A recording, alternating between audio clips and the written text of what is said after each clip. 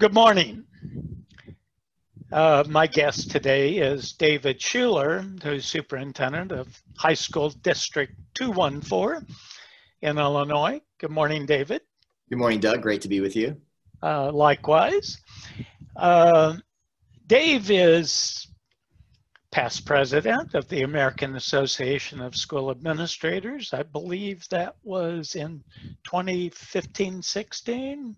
Correct. And was 2018 AASA Superintendent of the Year. We're talking about AASA's uh, Aspiring Superintendents Academy, and why don't we kick off, Dave, by um, you're giving us uh, an overview of the Academy, uh, why it was this created, uh, its basic goals, and uh, how it operates, how it functions. Sure. So um, the Aspiring Superintendents Academy was really started as a way to create a pipeline into the superintendency. We were few, seeing fewer and fewer individuals applying across the country uh, mm. for superintendency positions. And, you know, I just think at the end of the day, being a superintendent is the best job in the country. Uh, we're one of the largest employers in our community who else has the opportunity to enact change like we do? We have the opportunity to create the next generation of global citizens. And so, you know, it, because of my joy and love for the position, you know, I reached out and asked AASA if we could launch an aspiring academy. And we now have a bunch of different aspiring academies that exist, which is just awesome. Um, and so we're in probably our fifth year now of running our aspiring superintendent academies. Um, the, we have one that meets um, in person and blended during normal times, Doug. Um, but uh, these are clearly not normal times. So most of our meetings through the end of December are all virtual. Um, but we really provide opportunities for individuals either at a state level, we have some state specific programs, or at a national level, which is the program that I lead, um, to prepare people to be successful in the role. And one of the things I'm most excited about is out of you know five cohorts worth of participants, we've only had one person attain a superintendency and not maintain their position and that was an individual that I had said during the interview process, run, that board needs help. They need Doug to come in and work with them. Get run, run, run. But he was sure he could fix the board. And as you know, superintendents, especially in their first year, definitely can't fix a board. Right. It's a dangerous time, high risk time, that first year. Well, you're, I believe, lead teacher. That's your official title in addition to being chief executive of District 214. Um, what what does lead teacher mean? What what's your role? So my role involves planning the agendas, but more importantly, finding out where each of the participants are at because everybody's at a different point in their life journey and their professional career. So it's important for me to find out, does someone want to become a superintendent next year? Or does someone want to become a superintendent in two or three years you know? And then once we know that information we can kind of chart a personalized pathway to each individual for their superintendency journey. And then you know really working to find out you know what is their leadership concept right? What is their construct for leadership? Uh, through their graduate work you know who do they look to as kind of the guideposts for not just education, but leadership. And once we have that piece figured out, then we can really create these problems of practice and capstone projects that really ensure that we're focusing on, you know, every session we focus a little bit, at least a little bit on board relations. Because as I think you would agree, that relationship between the board and the superintendent is just so mission critical.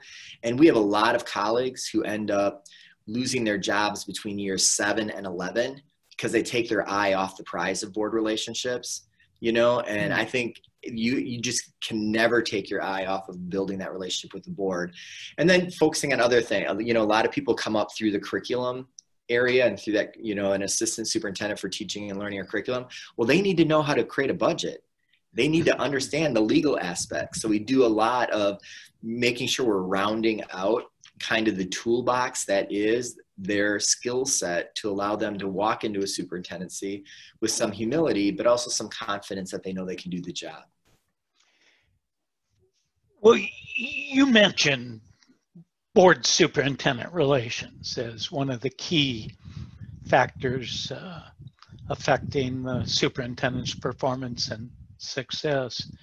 Um, I've been under the impression, and I think you and I have talked about this in the past, that even today, despite the importance of that relationship, uh, formal graduate education, excuse me, uh, schools of education are not yet addressing that. Is am I right that that's still not? I would I would completely agree with that. Uh, completely. Why?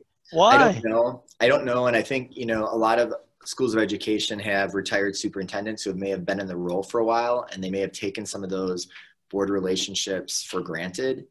But you know, I'm in my 21st year of being a superintendent, and I spend just as much time now working with my board as I did in year one in this district. And I think, you know, it's really interesting when you ask aspiring academy um, participants, how much time do you think you spend, you'll, you'll spend with a board?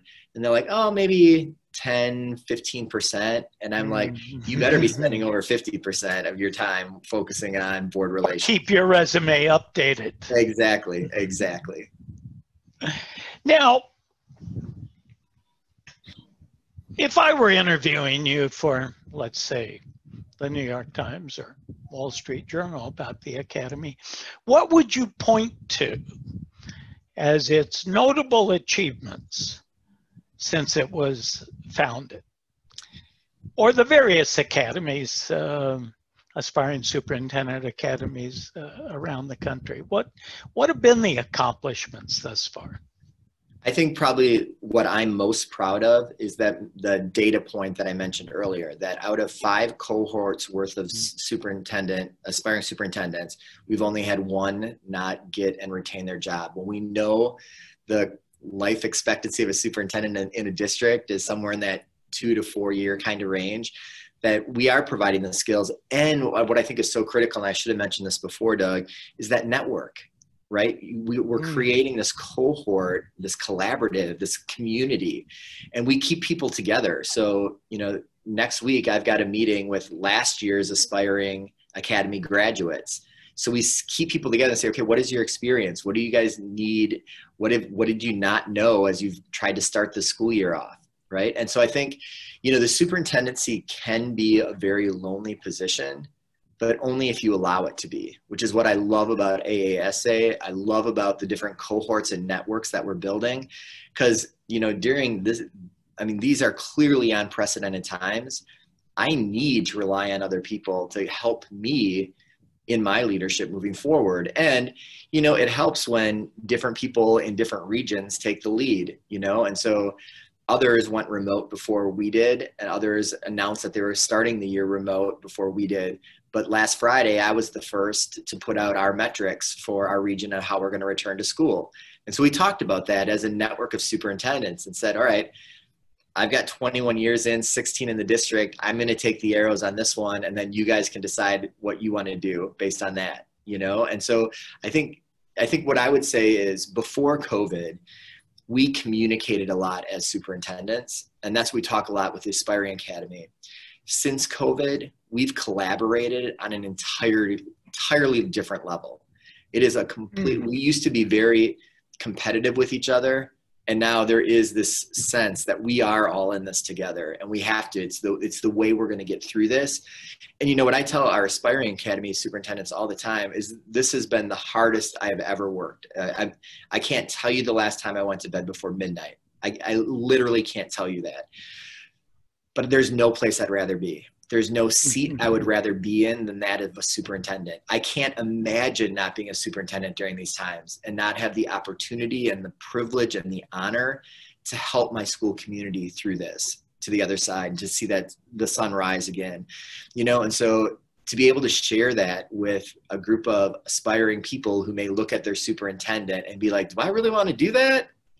That's such a privilege for me I, I love this opportunity as exhausting as it is, you know, um, I, there's just, there's no place I'd rather be. So to be able to inspire, hopefully, and motivate others to want to step into this chair is just a, one of the greatest it's the, what i love to do more than anything besides being a superintendent is to work with our aspiring academies speaking of the academies uh, let's go back to a couple of the nuts and bolts i'm not sure we covered. Now uh, explain the concept of the cohort. How large is a co any particular cohort?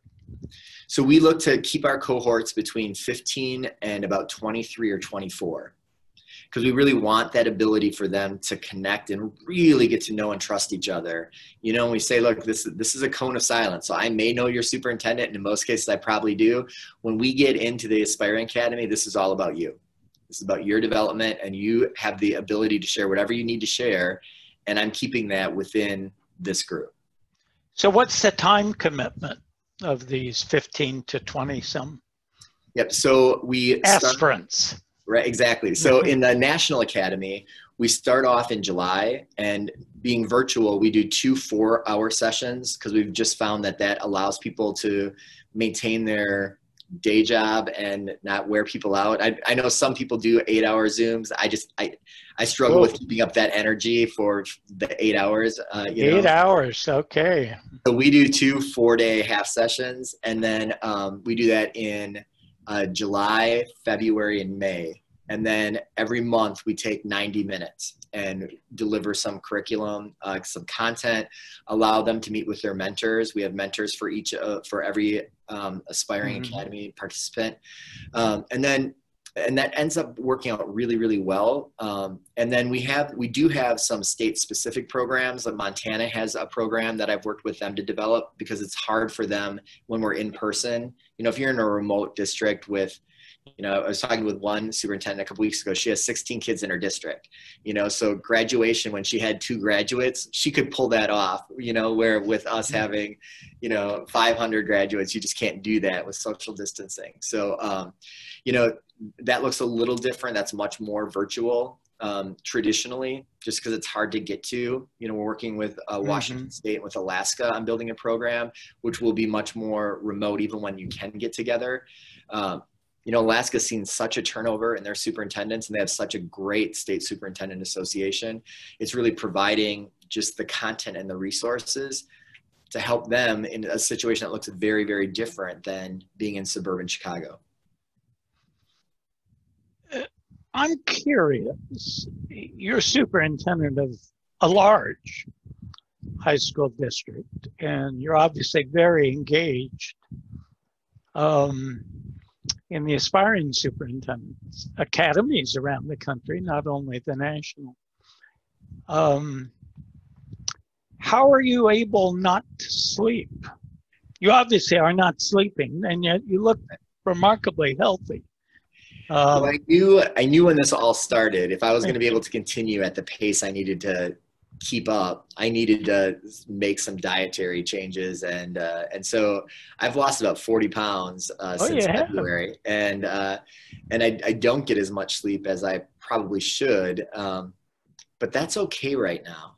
That's okay. It's it's okay because again, the opportunity we have to build high quality superintendent pipelines like that that drives me. It, so i wake up even though i may be tired i'm energized. I'm energized to do the work you know? And i think and talking with a lot of my colleagues they feel the exact same way. My, the bags under my eyes are, are getting bigger and bigger but it's okay mm-hmm. right? It's okay.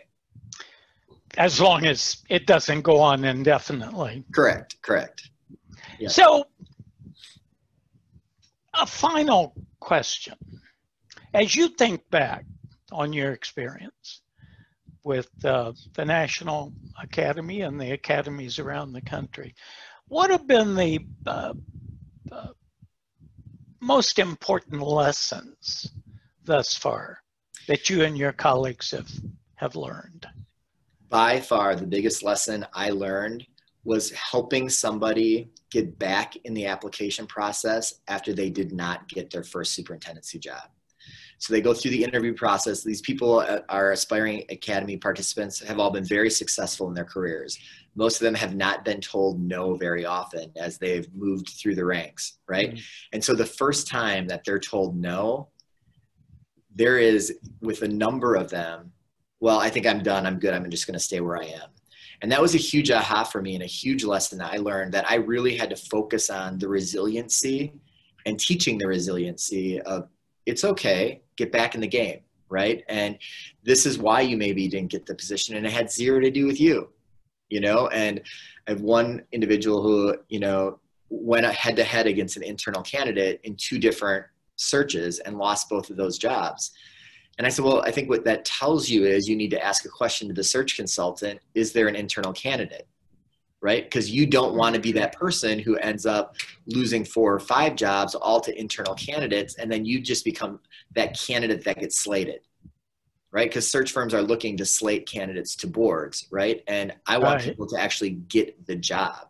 And so being intentional about teaching that resiliency is not something I expected when I started, but something that um, I find has been very helpful as we move throughout the process. And then the other thing is just thinking through um, the impact of gender and race on different search processes and being honest and open about talking with candidates, you know, about, you know, different board makeups and board presidents and who board presidents tend to hire. Um, and so just thinking through all of those kind of things, I think um, those components and characteristics, I think is just fascinating. And I love to do that because I want to set people up for success. You know, and like that case I talked about, I remember we were at O'Hare as a family getting ready to take a family trip. And I said, I am telling you, you don't walk from this search, you run. They had five member board two members were not there for the final interview and they went and those two rogue board members went and did site visits in the three finalist town without telling the other three board members that that's what they were doing. Well that's dysfunction for you. Right? So i'm like i'm telling you don't walk run. And he's like no i can fix it. I'm like you're not going to fix it.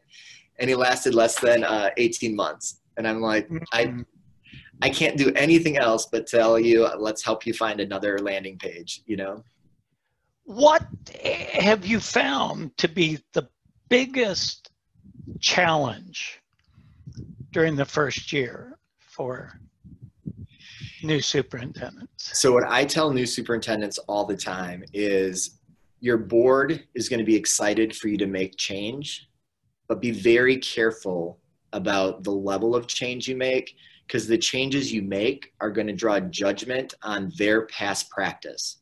And so I say all the time listen, ask a lot of questions, do, go around. And when you do those listening sessions, when you do that tour, that opening tour, don't ask them people what they want to change. Because you know what? They're going to tell you. I always say, I always start with, tell me the best thing about our district. That's what I want to know.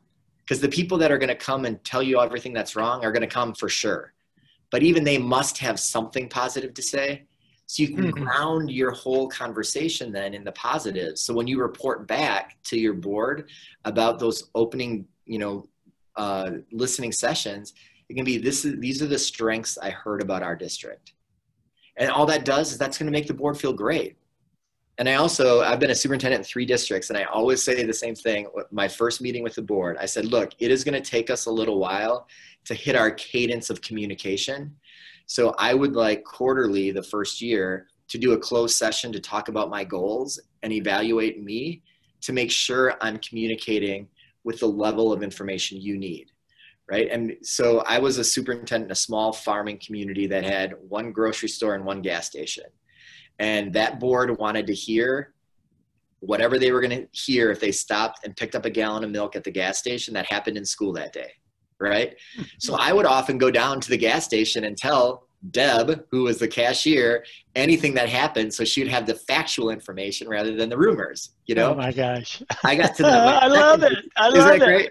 My second district, it was a sprawling geographic area, and we had a bus accident on the first day of school. Of course, right? Like a bus accident, my very first day. So I called my board president and I said, "We there was a bus accident. I just want you to know." And she said, "Dave, was anybody hurt? And are there TV cameras there?" And I said, no, everybody's okay. She said, then why are you calling me with that information? Right? and then I got down to my current district, you know, and I said, we just need to have those open communications so that I will I will figure it out within six months. But it's not fair to you or to me to not indicate if I'm oversharing or undersharing. So I think first year superintendents appreciate that. And then the other thing I would just say, sorry for this long-winded answer, but I think it's really important for superintendents to adjust their leadership style to the board president. And I think too often we allow or we expect board presidents to adapt to us. Right. And it has to be the other way. It just has to be, you know, and I look my first superintendency. Uh, we had a wonderful board president, just wonderful. He was a farmer, and he would lean forward and he would call the agenda item, and then he would sit back in his chair, and I would facilitate the discussion. When the discussion was done, I would lean back. That was his cue to lean forward and call the vote. So I left that district. The new superintendent came in and he said, "This is a meeting of the board, and so it's up to the board to run the meeting." that wasn't that that board president's skill set you know so their meetings started ending up going till 2 3 a.m and almost all the incumbents got voted out the next election that wasn't the fault of that board right? right. It was the fault of that superintendent not adjusting. When I got to my next district, that board president that I just mentioned, who talk, said, if the cameras don't come, don't call, you know, she said, Dave, this is a meeting of the board and I will run the meeting. When we want your input or when asked a question, I will direct that question to you. Awesome. That's fine. Okay. She yeah. left, right? So she left, and we had just another great board president, but he was kind of like, he was so brilliant. He was kind of like an absent minded professor. So he would be talking, and his mind was racing and then he would forget what was coming out of his mouth so he would just stop mm-hmm. mid-sentence. So in that case i was always on guard. I always had to be ready to finish his sentence never knowing when he was going to stop right? And then in my current district you know i've had um, a board president who wants to talk every day before 8.30 but we have to hang up before 8.30 because he's a, a little on the he's, he's not a young man and his daughter calls at 8.30 every day to make sure he's still alive so I have to talk to him before 8:30. When I had, we rotate board presidents every two years in my current district. I had a CPA who was board president, and he's like, "Look, unless somebody dies, do not call me between January and April." You know, so that's my job as the soup to adapt my style to that board president. Absolutely. And, and so, so I'm sure you teach. This is what you teach your That's exactly what we teach and spend a lot of time talking about. Great. Well, I've really enjoyed talking with you, Dave, about the um, Aspiring Superintendents Academy. Thanks for taking the time. Of course. And um, let's plan on a part two somewhere down the pike. That sounds great, so, Meanwhile, have a safe and satisfying day and take care of yourself. Thanks, you too. Thanks again. You bet. Bye. Bye.